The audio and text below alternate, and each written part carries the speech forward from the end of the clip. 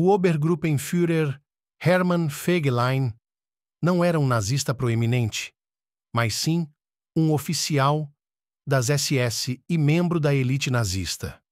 Ele nasceu em 30 de outubro de 1906, na Alemanha, e serviu como Obergruppenführer das SS durante a Segunda Guerra Mundial.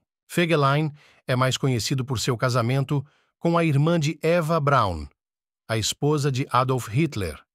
Ele era cunhado de Hitler e se tornou um oficial de ligação entre o líder nazista e a SS.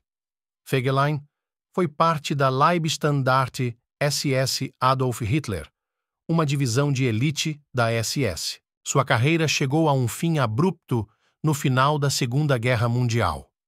Durante os últimos dias do conflito, Fegelein foi capturado pelos soviéticos em Berlim.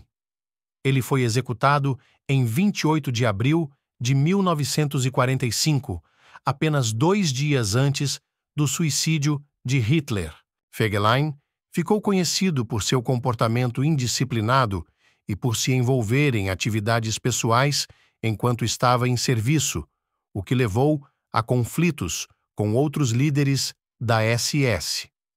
No entanto, ele não era um alto comandante nazista de destaque e sua importância histórica está mais relacionada à sua conexão familiar com Hitler e ao contexto dos eventos finais da Segunda Guerra Mundial.